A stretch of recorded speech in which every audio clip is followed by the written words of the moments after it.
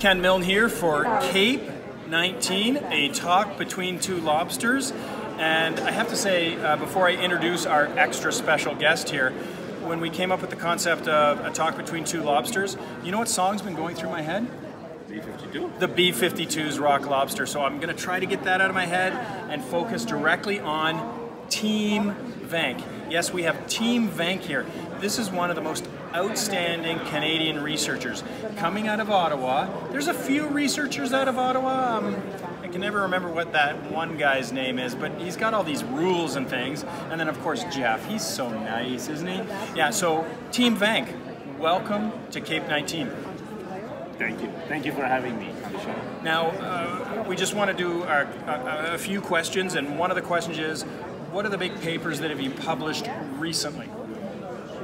So uh, we published three papers recently. The most important one is the one in circulation, uh, which tells you how long do you monitor patients with syncope uh, who present to the emergency department. How long do you monitor them in the emergency and how long do you need to monitor them when they leave the emergency department. So uh, that study shows that you, that you classify them as like low, medium, and high risk. As per So the Canadian low, Score. medium, and high risk patients, yes? As per the Canadian Syncope Risk Score, then if they are low, observe them for two hours, discharge them home. If you don't find any other thing, these are for arrhythmias. So if you're thinking about arrhythmias in these patients, two hours of observation in the emergency department is enough. So low risk patients concerned about arrhythmias monitor for two hours. Medium risk patients, concerned for arrhythmias, monitor them for six hours. Six hours. and high risk patients monitor them for six hours in the emergency department. The medium risk patients you can observe them. You don't have to put them on a monitor. The low and the medium risk patients, when they if they develop some symptoms like you know dizziness, feel weak, like feel like I'm going to faint, either get an ECG right away or connect them to the monitor. That's fine because we don't have enough monitor beds resources. Yes. So only high risk patients, which will be 5% of all of the patients presenting with syncope, who will need monitoring for a duration of six hours. The medium and the high risk patients are still a little bit higher risk when you discharge them home. Mm-hmm. So put them on a monitor for the next 15 days. A couple of weeks. Yeah. And then that will help us to identify any underlying arrhythmia that is important that may be related to the syncope that can be detected. One more point.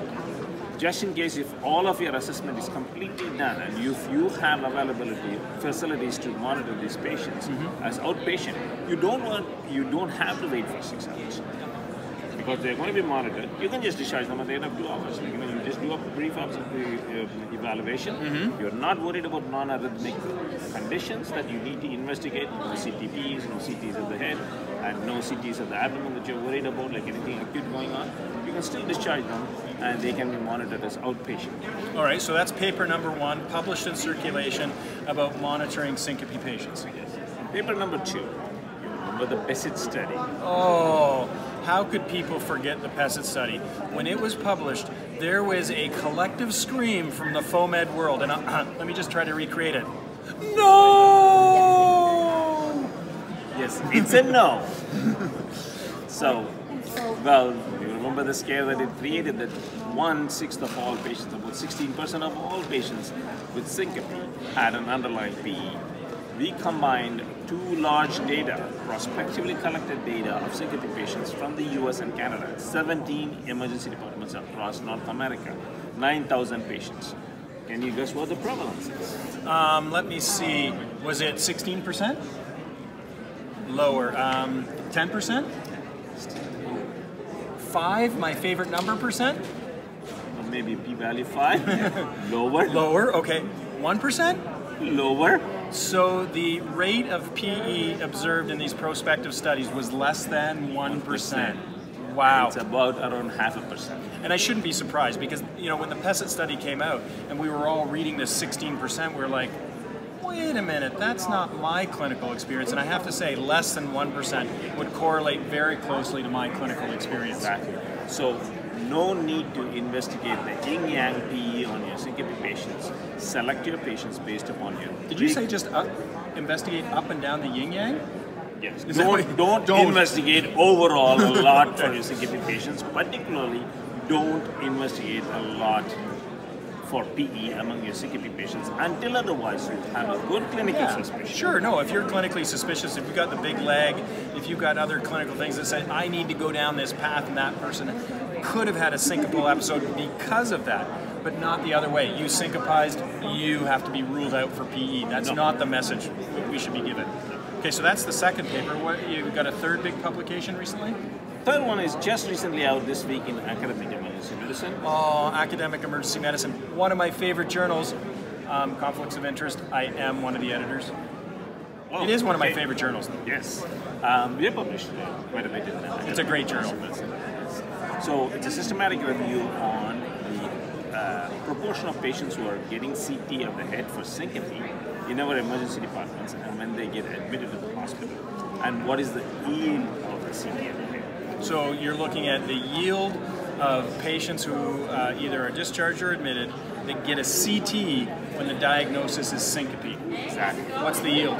So in the emergency department, across all of these studies, about 55% of patients had a CT of the yield is about 3.8%. And uh, among those who are admitted to hospital, hospitalized for CT, around 50% again got CT of Half of them got their head scanned? Head scanned by the admitting physician. And their yield is about 1%. So we also have some risk factors that are associated with finding something abnormal in the CT of head.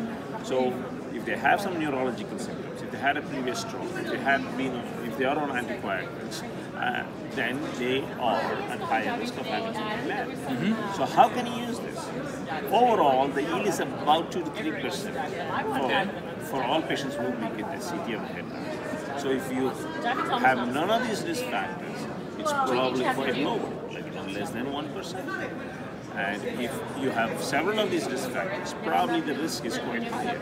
If you have these risk factors, yes, go ahead and do a CT. If there is not, just talk to your patient. Say that they are at lower risk.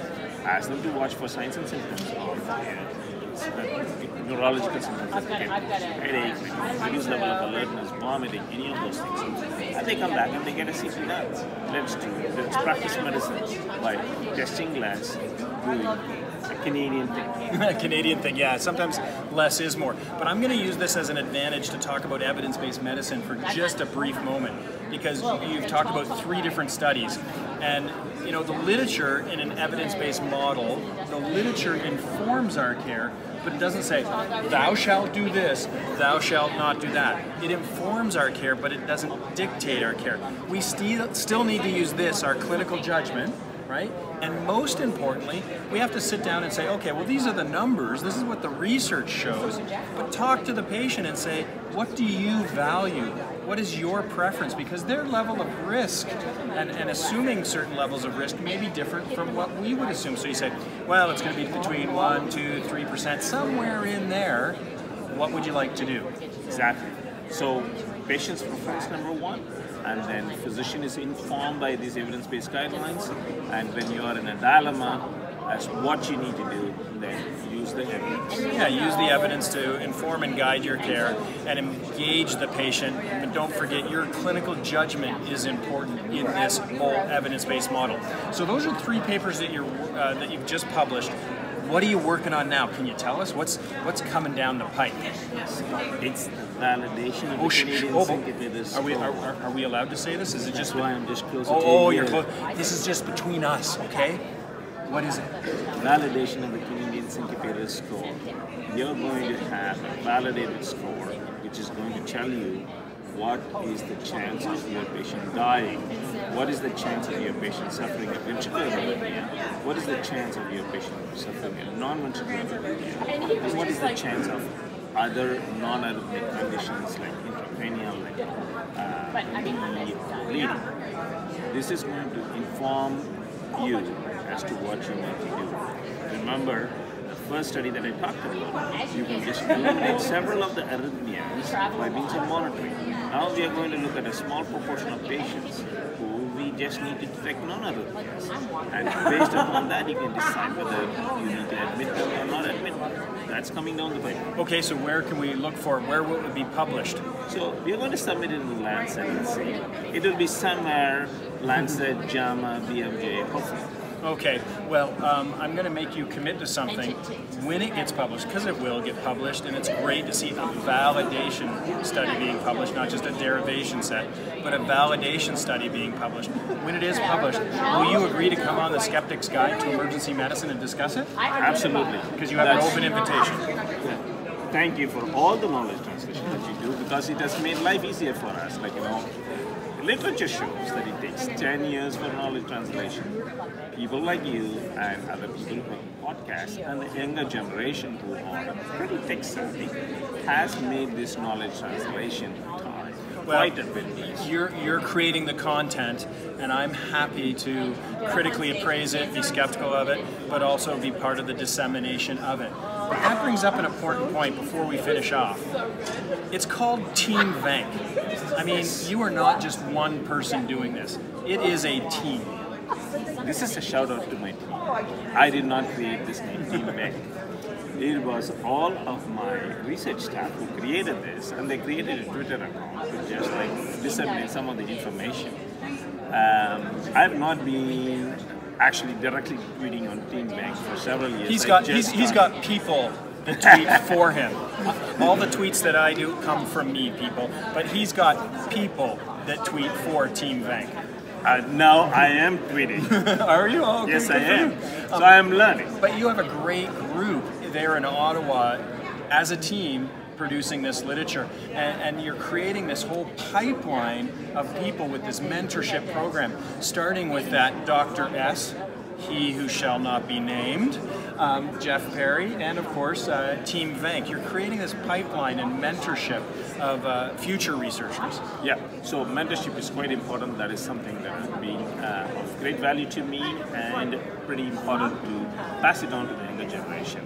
So I have a great team of uh, members who have been part of my team who have moved on successfully to various, uh, they are highly qualified professionals in various organizations at the present time, including physicians who have completed emergency medicine and public health residency, those kind of stuff. And I have a new team. It's I am nothing without my team. So, uh, one final thing before we wrap up this talk between two lobsters, and that is next year, CAEP 2020 is going to be in your hometown of Ottawa.